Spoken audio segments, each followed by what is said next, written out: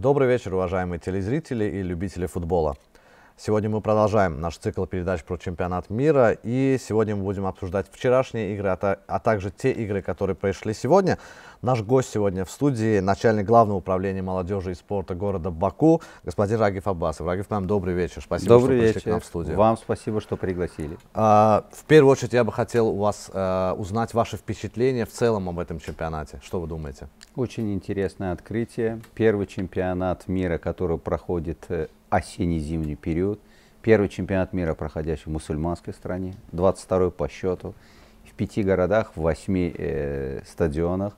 Максимальная посещаемость, очень такие пестрые болельщики, э, большая динамика, интересный футбол, э, ровный футбол, ориентировочно континенты все друг друга изучили, интересные команды. И самое главное, до последнего момента э, очень много вопросов. Так кто же следующий? Вот так приблизительно. Отлично. А, еще перед тем, как мы начнем обсуждать игры, я бы хотел спросить, какие команды были вашими фаворитами до начала чемпионата?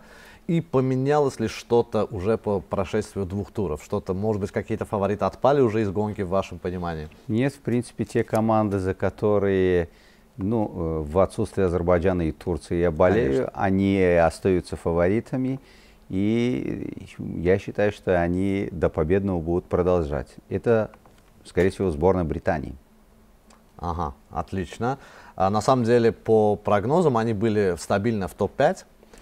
Но, Но э, Бразилия, Франция э, и чуть-чуть ниже Аргентина котируют все-таки повыше, чем сборная Англии. Ну, э, мотивирую, почему болею за сборную Британии. Это единственная команда, которая, если станет чемпионом, э, то весь мир э, услышит про Азербайджан. Потому что они стали чемпионом мира в 1966 году. И тогда э, боковой лайнсман сыграл огромную роль, да. правильную роль Тофик Бахрамов. И в случае, если британцы станут чемпионами мира, то наверняка вспомнят первое да, чемпионство думаю, да. и вспомнят про нашу страну. Да, я думаю, кстати, вот буквально несколько дней назад я в интернете увидел э, реконструкцию того самого момента в финале чемпионата мира 66 года и самые современные технологии оцифровали это самое видео и все-таки было был поставлен была поставлена точка в споре об этом голе. Все-таки да, это был гол и да. наш великий э, судья все сделал правильно в том моменте. Э, хорошо, э, кто помимо сборной Англии, допустим, с кем они могли бы играть в финале? А, ну, скажем так, в полуфинале, по моему прогнозу, это э, Аргентина, это Франция и одна из африканских стран.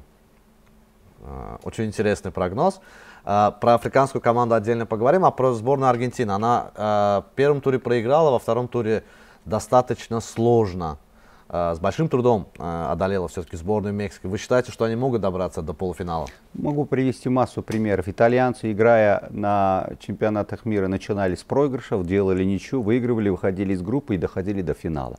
Аргентина будет играть по нарастающей. Их просто все хорошо изучили, и они, я думаю, это понимают. Но э, великий футболист, который уходит с большого футбола, для ну, которого да, это, сути, скорее да. всего, последний чемпионат мира, наверняка захочет э, попасть в историю. И огромное количество болельщиков, наверное, это тоже хотят. Нейтральных болельщиков, да, на самом деле поддерживает сборную Аргентины. Кстати, от нескольких игроков, э, даже Луис Энрике, тренер сборной Испании, сказал, что если уж не мы победим, то пусть победит Аргентина и Лео Месси. Э, он заслуживает того, чтобы стать чемпионом мира. Объективно. Да.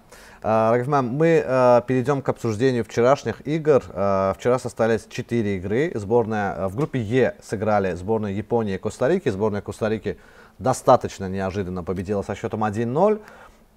И сборная Испании сыграла ничью со сборной Германии. Что скажете об этих играх и, в принципе, о перспективах этой группы?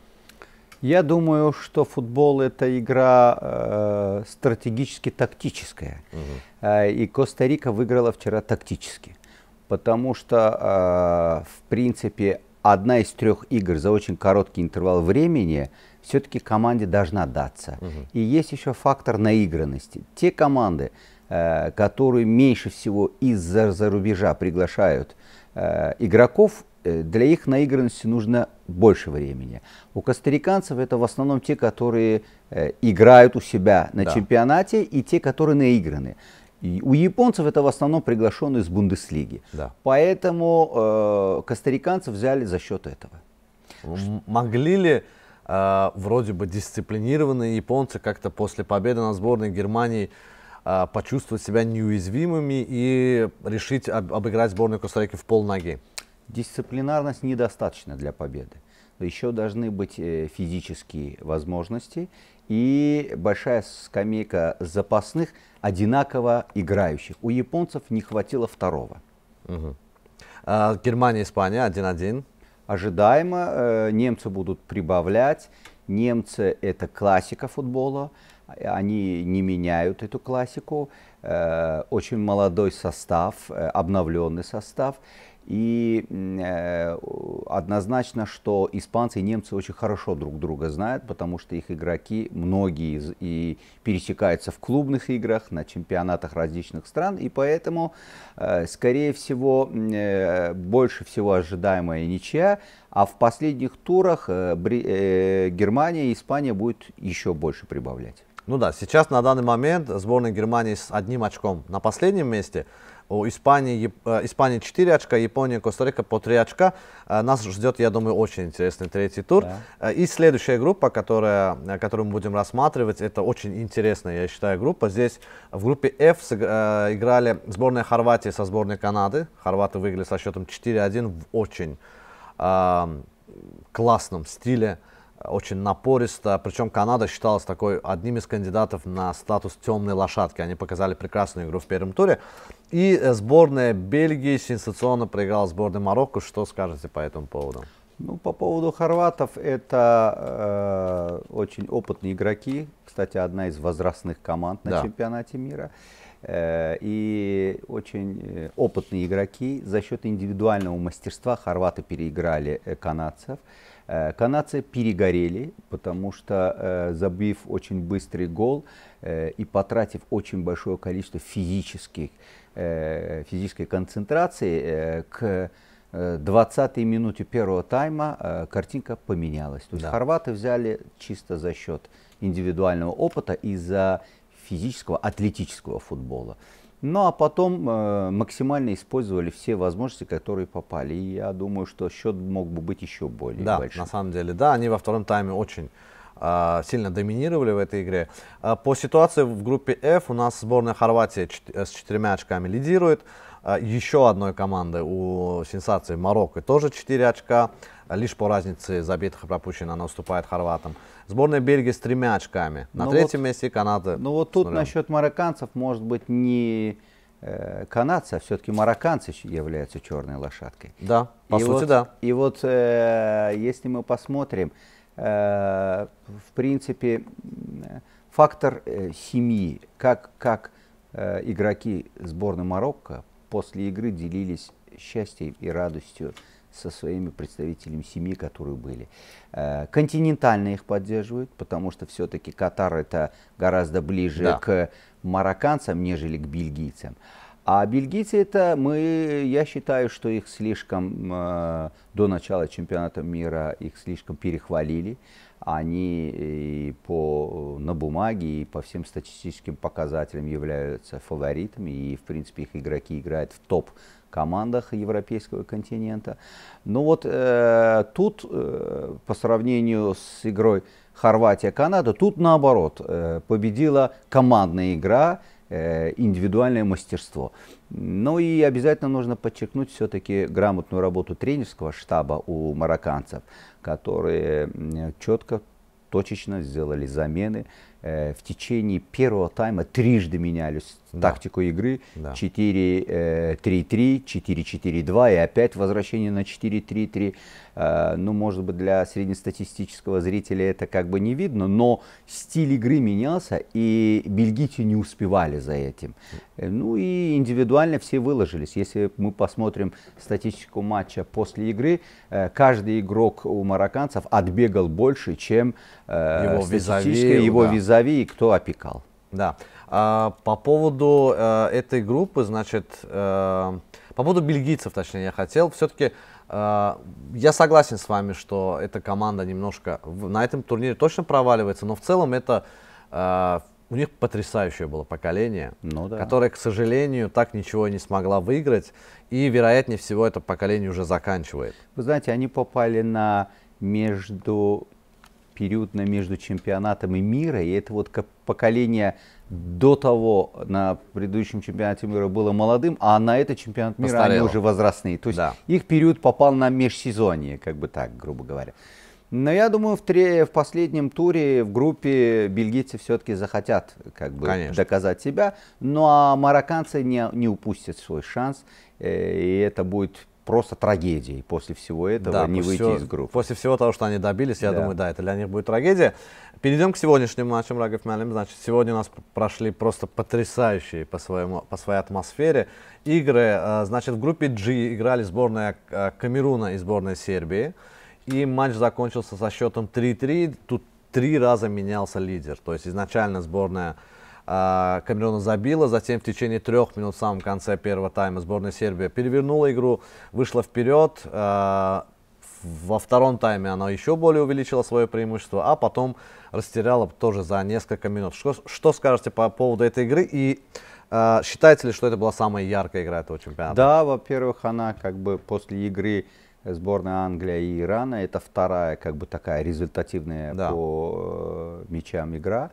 Э, ну, колумбийцы э, сильны духом, получается, что э, чисто э, не сдались, не сдулись. И каждый мяч он был очень красив по тактической подготовке команды.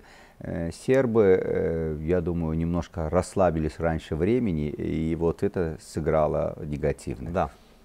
Да, момент после 3-1, мне кажется, они немножко, на самом деле, я с вами полностью согласен, они расслабились. Э, скажу честно, на предыдущих передачах мы со всеми гостями, я постоянно утверждал, что сборная Сербии, в моем понимании, это один из, не то чтобы фаворитов, но темная лошадка, у которой потрясающий состав. А, в составе этой команды играет ну, мой любимый футболист, это Сергей Миленкович Савич. Я его считаю самым совершенным, как минимум полузащитником современного футбола. И я на них очень рассчитывал. Правда, опять же, для них ничего не потеряно. Сегодня в этой группе прошла вторая игра, буквально э, полчаса назад она завершилась. Бразилия обыграла сборную Швейцарии со счетом 1-0. Uh, достаточно сложная игра, но все-таки бразильцы играли с запасом. Что скажете по поводу Хитрят этого? бразильцы, конечно. Да, я думаю, они скрывают свой Хитрят, потенциал. И я думаю, что Э, на одну восьмую еще Неймар э, вернется да. к команде. А, интересно то, что а, если посмотрите а, по наигранности, те, кто выходит на замену, они бегут больше, тем, чем те, кто играет они до них. скорее То есть э, чувствуется, что горят. Ну и гол э, Казимира, он просто потрясающий. потрясающий. потрясающий. И, и, первый гол э, в предыдущей игре э, нападающего бразильцев, он тоже э, очень красив по своему забиванию. Радует то, что бразильцы мало фалят, а это значит, что они опережают по скорости. И посмотрев игру первую бразильцев и вторую, можно понять, что у них есть еще несколько вариантов тактических. И, скорее всего, третья игра в группе у бразильцев, она будет еще ярче. Подождем, совсем уже мало осталось до этого момента. А, кстати говоря, интересный факт. А, у нас завершились вторые туры э, в семи группах из восьми, и всего лишь две команды у нас набрало 6 очков. Э, это достаточно э, удивительный результат, потому что обычно на групповой стадии у нас бывает очень много фаворитов, которые первые две игры выигрывают, а затем уже спокойно доигрывают третий тур. Э, на нынешнем чемпионате это только сборная Франции, сборная Бразилии, те команды, которые на самом деле рассматриваются как фавориты. И еще у двух команд есть шансы сделать это, и сборная Ганы, и сборная Португалии, которые сыграют чуть позже, сразу после нашего эфира. Ну, как раз перейдем к этой группе. Уругвай, Южная Корея. Они решили дать бой по зрелищности игре Камерун-Сербия. 2-3. Сборная э, Гана победила. Потрясающий по накалу матч. Что скажете по поводу этих ну, команд? В принципе, команда Гана и в первой игре она была очень хорошей, там чуть-чуть не хватило. Могу сказать то, что э, Гана это те футболисты, э, та молодежка, которая Э, на отборочных играх э, и своего континента, и на чемпионатах мира играла. То есть это э, непростые ребята, и они понимают, что скауты крупных ведущих Конечно. команд за ними следят. Конечно. Они играют на это. Э, очень понравилось то, что очень э, динамично атакующие полузащитники, очень сильные нападающие, атлетическая команда. А вот. Но там доминирует желание, физическая выносливость, ну и э, очень яркие болельщики, которые Без которых, под, да, да, подбадривают и ведут свою команду вперед. Я думаю, что команда Ганы э, в следующей игре покажет такой же интересный футбол. А, что касается насчет португальцев, вот тут, я не знаю, может быть, вы со мной не согласитесь, разочаровывает Португалия. Это не та Португалия. Э, чувствуется, что связь между игроками и вот э, скорость мышления, э, ведь футбол это что? Ты должен быстро принять решение, Конечно. и это решение должно быть правильным, оно должно соответствовать решению команды.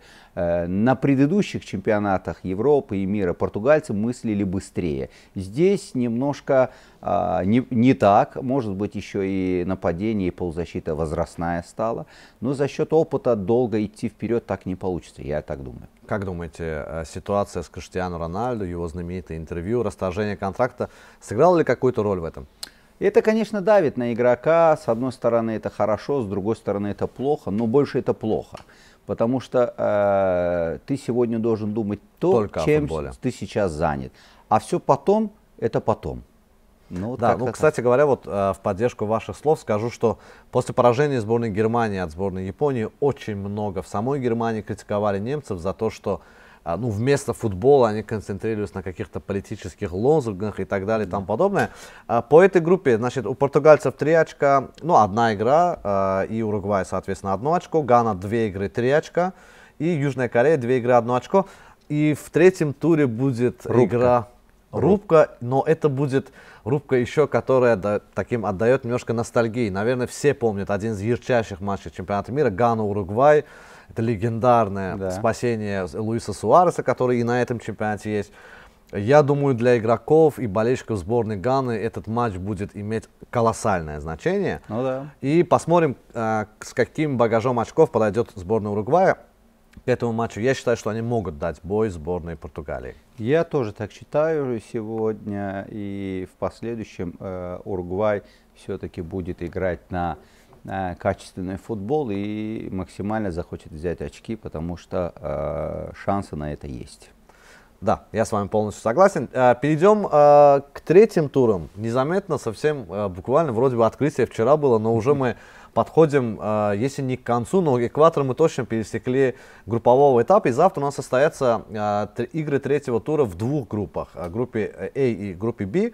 Начнем с группы А. Сборная Эквадора, у которой 4 очка, сыграет со сборной Сенегала. И у сборной Нидерландов, у которой также 4 очка, сыграет с, с Катаром который математически потерял все шансы на выход из этой группы, но э, предполагаю, что они как минимум захотят на домашнем чемпионате, ну, хоть что-то сделать, как-то запомниться. Ну, голландцы, нидерландцы, они должны, в принципе, взять, э, ну, задача э, минимум это одно очко, чтобы как чтобы бы... просто выйти из группы, Выйти да. из группы, да, потому что, в принципе, пересечение с группами, которыми они будут играть потом, это будет приблизительно одинаково по силе команда. А, катарцы, конечно, у себя дома и матч открытия проигрыша, потом проигрыш, это, конечно, расстраивает, потому что любая команда э, у себя дома э, хочет запомниться. Ну, э, реальная ситуация такая, что, конечно же, голландцы, они сильнее на голову. Однозначно. Да, но катарцы будут стараться. Я думаю, что здесь, вероятно всего, будет ничья. А, но что касается насчет Эквадора и Сенегала, я думаю, это будет потрясающий по зрелищности матч. Матч за выход из группы. И, и Сенегал, и Эквадор, они э, хотят и могут продолжать играть, и потенциал игроков позволяет. Э, если я не ошибаюсь, у Эквадора э, в нападении играют те, э, которые сегодня в английской премьер-лиге также являются да. Э, самыми забиваемыми игроками. Да, поэтому э, вот тут тоже будет очень интересно. И вдвойне интересно то, что матчи, если я не ошибаюсь, третьего тура, они будут проходить в, одно, в, время, в одно и то же 8 время. по бакинскому времени. А это для того, чтобы не, не, не было спекулятивности и Конечно. не было как бы, э, как бы запаса для тех команд, которые, поняв, что им можно сыграть ничью или даже проиграв, не тратя на это силы, все равно выйдут из группы. Поэтому э, я думаю, что завтра мы увидим э, такую активную игру. Вероятность будет мало мячей забито, потому что когда обе кома обеим командам надо выигрывать, тогда много мячей не забивается. Тем более сборная Эквадора достаточно ничей на самом деле, и вероятнее да. всего она да. и будет играть на ничью, Да, по коэффициенту. Всего. Ну, тут я думаю, что шансы 50 на 50. Окей, okay, давайте попробуем все-таки сделать прогноз uh и затем проверим. Э, начнем с игры полегче. Нидерланды, Катар, как думаете? Как счет и предположение Больше всего ничья, скорее всего. Ничья, да. отлично. Результативная или нулевая, как думаете? М-м, результативная. Результативная, отлично. Э, Эквадор, Сенегал. Эквадор. Эквадор. Э, я со своей стороны поставлю на сборную Нидерландов. Я считаю, что они должны выигрывать. И все-таки вот здесь я с вами не соглашусь. Мне кажется, сборная Сенегала в этих двух играх показала себя получше. Мне кажется, они должны, они показали себя ярче. Мне кажется, сборная Сенегала победит и пройдет эту группу. И переходим к группе B, которая изначально вызывала интерес не только по футбольным причинам. Это самая политизированная группа на этом чемпионате. Ну, прям э, история на истории. В этой группе играет сборная Ирана и США. Это уже достаточно. А еще э, Уэльс и Англия. Э, Англия ваш фаворит, я знаю. Да. Э, в последнем туре завтра в 23.00 по бакинскому времени играет э, сборная Ирана и США. А также в это же время Уэльс со сборной Англии. Теперь давайте по группе пройдемся. У сборной Англии 4 очка. Да. Э, и великолепная разница мячей, кстати говоря. У сборной Ирана э, 3 очка, э, но минус 2 у них э, из-за крупного поражения сборной Англии. США э, 2 очка две ничьи в двух играх. И сборной Уэльса одно очко. Все команды имеют шанс выйти, и все команды имеют шанс вылететь из э, чемпионата мира. Что думаете, ваш прогноз? Британцы, даже проиграв в третьем туре, э, все равно имеют хорошие есть шансы шанс. выйти. Да, у них есть Поэтому шансы. я думаю, что все-таки американцы не смогут э, выиграть Иран, хотя э, по обоюдным встречам Иран – на чемпионатах мира да, побеждал, году э, побеждал американцев. А, вероятность всего, что эта игра завершится в ничью. Угу. А э, Уэльс, победив Британию, э, как бы вот угу. сможет продолжить. Вдвоем они да, выйдут, я думаете? вот думаю как-то так. А, игра Уэльса. Вам не кажется, что эта команда все-таки немного э, игровая модель, ее состав, они немножко все-таки устарели? Как звезды их постарели, это и Рэмзи, и Бейл, но сама по себе игра э, у них такая, против которой, я прошу прощения, большинство современных команд научились играть. Вы знаете, футбол, он выровнялся. И очень многие команды превосходно друг друга знают. В одной команде играют игроки, э, которые ну, в клубах могут пересечься. А, сборная Уэльса, если мы посмотрим, как она выходила из э, значит, группы, э, получив путевку на участие чемпионата мира, там также была, такая же игра была, тот же стиль был, и соперники были не, не слабее. А, но эта команда, э, она такая точечная команда на конкретных моментов. Игра э, команды поставлена на конкретных моментах. В течение, даже у любой из слабых команд, течение игры с сильным соперником бывает несколько моментов. Угу. И реализовав эти моменты, можно сделать игру. А, то есть возвращаясь к тому, что философия футбола, она поменялась. И вот эта модель э, VAR, системы, э, количество больших замен, э, тактическая подготовка тренерских штабов, наигранность игроков, она приблизительно у всех одинаковая. То есть победа получается за счет микроэлементов. Еще больше, еще лучше, еще быстрее, еще сильнее. И вот Уэльс команда, которая по зрелищности может показывать не очень интересный mm-hmm. футбол. А, это стандартный навес, это команда, сделав эпизод с углового, со штрафного. Ну, этого достаточно. История, британский футбол. История запоминает результат. результат. А как сыграли, почему кто-то хорошо сыграл, кто-то плохо сыграл, кто-то опоздал, упал, не дал пас, это все забудется. А если история запоминает результат, значит нужно действовать э, на результат. Окей. Okay. А, хорошо, спасибо большое. Значит, давайте и по, по счетам пройдемся, попытаемся все-таки сделать прогнозы в этой группе. Значит, Иран-США, ваш прогноз по счету? Игровая ничья.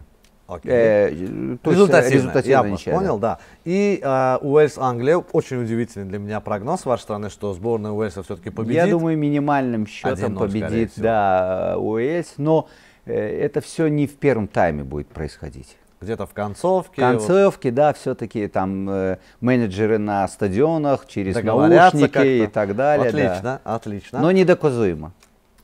Да, вот, кстати, в самом начале чемпионата сборную Катара подозревали в этом. Да, а и, получилось наоборот. Получилось наоборот, и даже, мне кажется, там немножко с перегибом получилось, потому что во второй игре у сборной Катара был момент с пенальти, я считаю, практически стопроцентный. Это был пенальти, mm-hmm. когда э, главная звезда этой команды, он шел уже практически на удар, ему под опорную ногу буквально снесли его. А в этом моменте, я считаю, по-моему, это уже сыграло против них, что решили ну им вот, вообще э, перестраховаться. Э, ну, это как бы так. Э, некоторые команды, помимо того, что на поле играют, выигрывают или же там делают ничью, или проигрывают, им же еще пресса помогает. Угу. Вот, им, их же еще менеджеры. То есть, например, Сегодня, если мы посмотрим, британская пресса очень четко работает для своей да. команды до игры.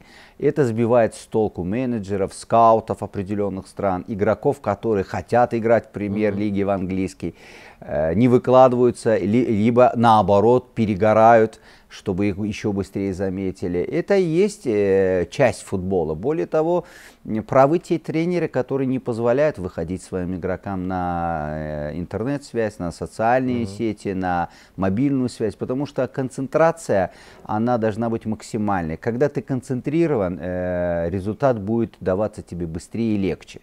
Но вот э, давайте воспринимать это так. Э, антипиар Э, значит, работа э, скаутов, игра команды, э, значит, пресс-конференция, это все в купе делает результат. Окей. Okay. Я предлагаю, судя по всему, если я вам задам вопрос Месси или Криштиану, я, я услышу ну, ответ Месси, Месси наверное, да. Да, и поэтому я бы хотел с вами все-таки обсудить сборную Аргентины, ее группу, и ее последний тур, который э, состоится уже послезавтра. У нас есть не, буквально полтора минуты до конца эфирного времени. Значит, в этой группе у сборной Польши 4 очка. А, Аргентины, Саудовская Аравия по 3 очка, но у сборной Аргентины преимущество по разнице мячей. Uh, у нее эта разница, uh, значит, плюс один, у сборной Саудовской Аравии минус один. И у сборной Мексики одно очко. В последнем туре сыграет сборная Аргентины со сборной Польши, с лидером своей группы. И Саудовская Аравия сыграет с Мексикой. Что думаете по поводу этой группы? Мексиканцы выиграют в пух и прах, угу. потому что, э, значит, проигрыш и малое количество очков мексиканцев, это не значит, что они очень слабы mm и так далее. И, эпизодически чуть-чуть им не повезло. Э, для них эта победа будет очень важна. mm И горят ребята, чувствуются молодые, физически подготовленные. И в принципе у них запаса больше. На Аргентина Польшу тоже должна победить. Хорошо, давайте по счетам попытаемся пройтись. Минимальная а... победа Аргентины над Польшей, угу. Плюс два а, мяча победа мексиканцев над Саудовской Аравией. Окей. Рагвам, огромное вам, вам спасибо, спасибо за очень интересную беседу. С нами был начальник главного управления молодежи и спорта города Баку, господин Рагиф Аббасов. Это действительно одна из лучших бесед, которая у нас состоялась. Вам Мы спасибо. обязательно э, по записи выпишем ваши прогнозы. Потом, когда мы пригласим вас в следующий раз, мы обязательно по ним пройдемся, посмотрим, насколько вы или мы были правы. Э, спасибо, уважаемые телезрители, что смотрите нас. Э, мы выходим каждый день по будням в 22.30 и по выходным э, в час дня. Смотрите нас, оставляйте комментарии под нашими видео в YouTube. Нам интересны ваши прогнозы, ваше мнение о нашей передаче и в целом об этом чемпионате мира. Спасибо вам большое. Смотрите футбол, который начнется буквально через минуту. До свидания.